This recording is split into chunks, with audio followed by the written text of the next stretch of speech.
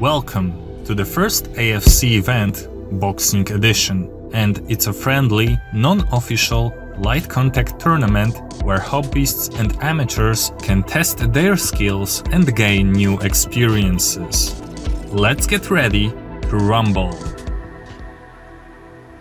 The third match in this tournament, we have in black and blue Shinobi again, and all gray it's Karol. Alright. Now both of these guys are tall, they have the, pretty much the same height. Yeah. Shinobi keeps going for the same strategy as before, which is what Alex was also doing, is using the lead hand to control the distance. So both of them are actually working with the lead hand, focusing on that jab. Okay, that was an attempt at a hook. But yeah, I've noticed there's not much use of the rear hand. Especially if you stand too much on your side.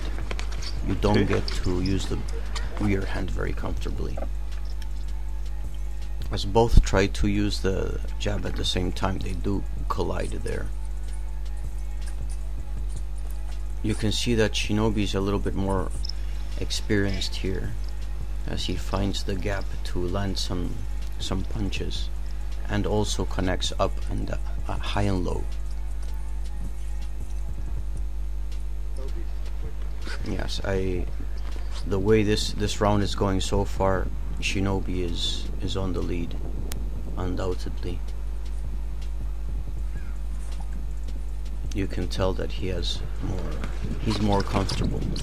He's more experienced.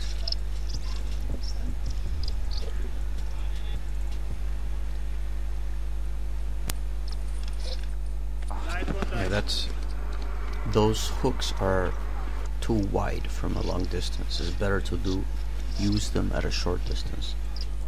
Okay, that was interesting. Again, in this case, the one that benefits from the shorter distance would be Karol. From from the longer and mid-range, Shinobi has a big advantage there. Okay, end of the first round. There we go, that lead. That was a good counter. But yeah, with the lead hand, Shinobi has a, an advantage here. That's at least how I see it. It's hard to see all the punches connecting though. Seeing the replay, there were a couple of good counters by. Karol.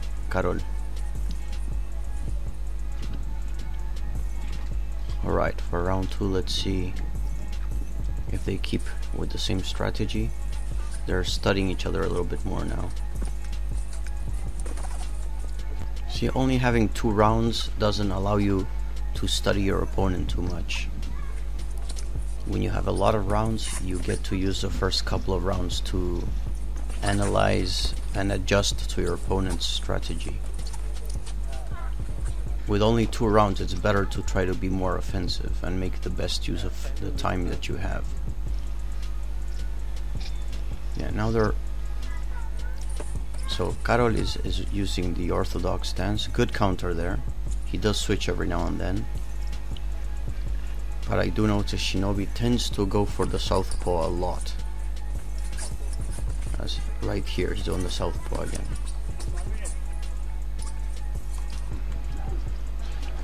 And switches back to the regular orthodox stance. Yes, I think that Karol did get some good counter punches in there, but Shinobi's punches look more clear and clean to me. I have to. See, we'll see what the judges say.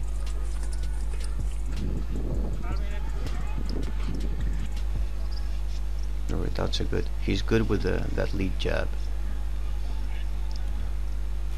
Very similar to Alex, except Alex moves around more but they do both use the lead hand a lot to manage the distance. There we go with the with that pressure with the flushing.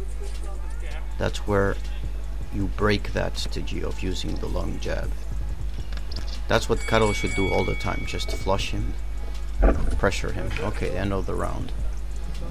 I'm curious to see what what the decision will be here. Good counter. Good counter. First to the body, then to the head. Was a good one. They both connected there. Sometimes these punches are not clear when you look at it at natural speed. Oh, there was a tie. Okay. Well, that was the first. As soon as they started, good couple of punches by Shinobi.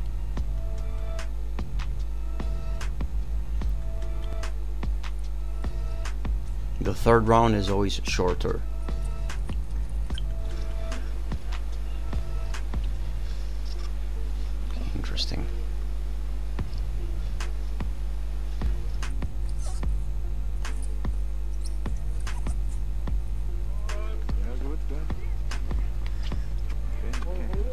Problem I see, yeah, they not looking when when they get too close to each other, they don't look where they're punching, which is a normal mistake. But you lose a lot of accuracy like that.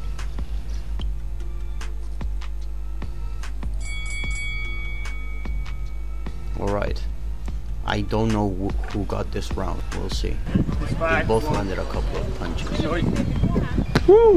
Okay, good, good. Shinobi, yeah, that lead Good work, punch perfect. You're on fine. a- Good fight. was